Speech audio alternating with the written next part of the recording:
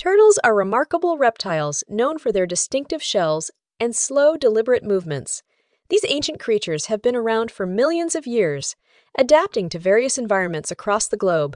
With their unique anatomy, turtles are perfectly suited for their aquatic or terrestrial habitats.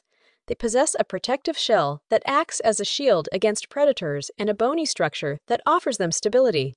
Turtles are known for their longevity, with some species living well over a century. They play crucial roles in ecosystems, from seed dispersal to maintaining balanced aquatic ecosystems.